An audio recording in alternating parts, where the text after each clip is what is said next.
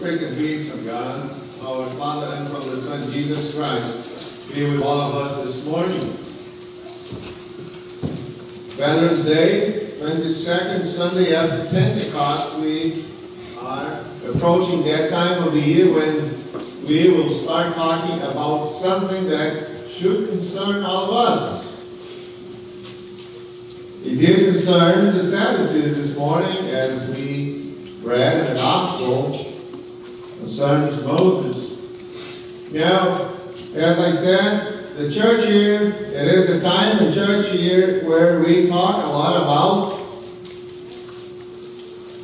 and we will see some of the readings talking about the life one day will end. At least the life we know. And this planet and on earth are we prepared for? What Jesus said today, it is a beautiful um, statement about how the life everlasting will be. And he actually comes very, very handy, and uh, I like to talk about life everlasting in this time of the year because we many, many times before holidays find ourselves running to the malls and the stores, doing the nonsense wasting of money and time, buying things, shopping, cooking, getting so busy with things and forgetting about the real meaning of the holidays. You know that the average American spends about $900 per child during the holidays? I'm talking about Thanksgiving, Christmas. And if you, like me, as a child, has a birthday November 23rd, then it gets a little worse. I have to buy a gift, she was asking already. But then here comes Christmas.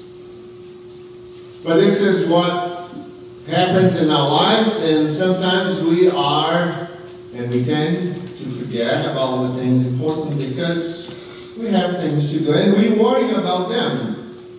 And that's the human condition, that's the human behavior. There is nothing much we can do about it. The worst thing about the holidays and uh, people buying so much is a, uh, this, they put this uh, research together. They said that most of the Americans, or the American average family, will be in debt for about six months after Christmas. It means that they will pay the bills by the summer. That's terrible. We are taking or the, maybe we could say the world is taking away the real meaning of holidays and putting in the credit card number. Are in debt. Taking and making people spend money rather than enjoying the true meaning of the seasons. If we would not just worry so much about the things to buy and do in this life. Worries and worries. Do you know someone that worries about everything? Do you worry about everything? One day I read this church sign that says, bad attitude, worry is like a flat tire. You don't go anywhere until you change it. It's time to change. Jesus' message today it is about things that really matter. The reading of the gospel this morning tells us that people came to Jesus with worries and concerns. Maybe the Sadducees would give some false accusations, but mostly the scribes are worrying about what's going to happen with, in this case, Jesus gave an answer about this woman that was married, the husband died, she married again, the husband died again, and for seven times the husband passed away. Now in heaven, how's it going to be? Jesus' answer is concise and to the point, or is straight to the point. And in, in heaven there is no marriage. Everybody is going to be like the angels. What a short answer. There is no marriage in heaven. Well, if you think about it, there's no in-laws. I'm just kidding. You know, Thanksgiving, he lost comes to eat. And, Anyway, but Jesus answered the question, telling them, don't worry, there are better things prepared for you, much better than any you can imagine. So take this time, so, and don't worry about it. And the answer that I like in this reading, and the, the most meaningful answer, it is the verse 36. Jesus says, after all, to those who didn't believe in resurrection, the Sadducees, the gospel was clear. The Sadducees, they didn't believe in resurrection. They would just stick with the first five books of the Bible, and that's it. We don't really know what they would think about, hey, okay, once we die, what, what become of us? They didn't give that answer, but they didn't believe in resurrection. But there were more people, not just Sadducees, among Jesus, and Jesus wants to give them an answer. Jesus wants to uh, satisfy that question, that thing that bothers, that worry that bothers them about the eternal life. Don't worry about that, that thing anymore because that thing is taken care of. Jesus said in verse 36. If people die once. Then, if they are in Christ, they can not die anymore because they are equal to angels and are sons of God, being sons of resurrection. There is a unique and meaningful teaching behind Jesus' answer. An answer to the most critical human and spiritual question. where and how I am going to spend eternity.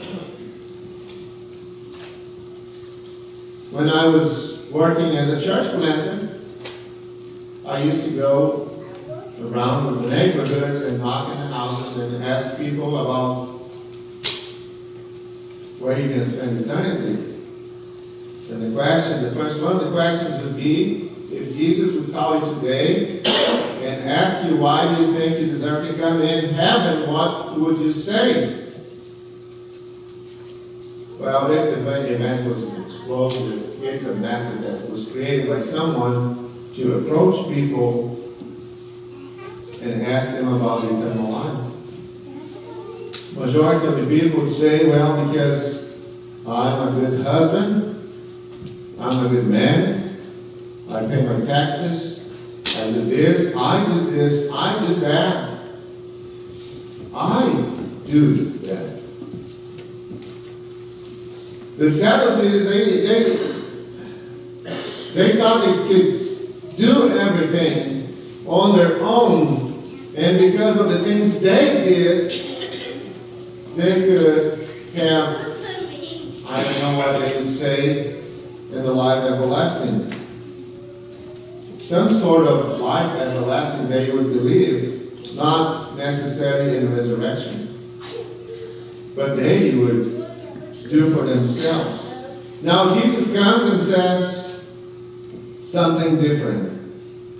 There is nothing in you. It is all provided by God in Christ Jesus.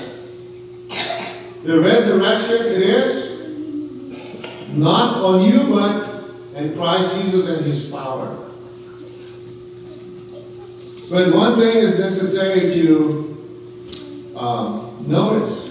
Jesus doesn't say much about how the eternal life is going to be, but he says, and he most certainly says, that people will spend eternity.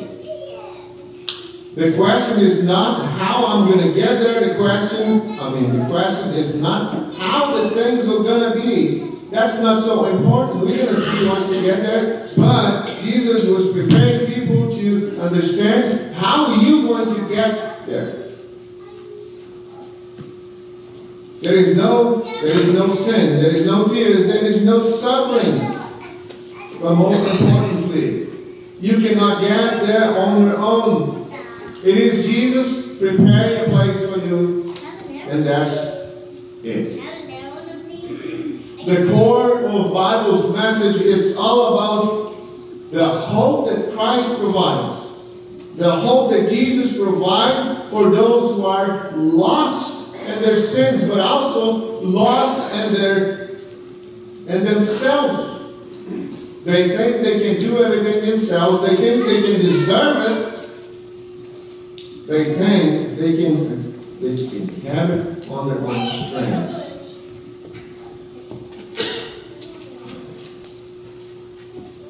From the beginning of the Bible to the end, the message is always the same. God provides. God provides eternal, eternal, the eternal the, the resurrection for all of us. And I always like this reading of the Old Testament. What a beautiful reading. If you go, when you go home today, read more carefully. And uh, make this reading as a devotion time for you and your family. And pay attention to, to this conversation between Moses and God. Just pay attention to the words. I'm not going to go through all things, but I would like to say, look the way that Moses approached the bush. The first thing God says, Moses, take your sandals. This is a holy ground because of God's presence. But when God called Moses, God, Moses said, I am. Here I am. Here I am with my sins. Here I am with my inability to serve, but here I am. And then God tells Moses, you know what? I have a task for you. You're going to go to the king of Egypt, and you will tell, let my people go. Same as Jesus is doing in the New Testament. My people will go to heaven because of me, because of my sacrifice on the cross. Moses now is interceding for his people. And when he try to find excuse to not serve God, then God said, Moses, it's not on you, and it's not because of you.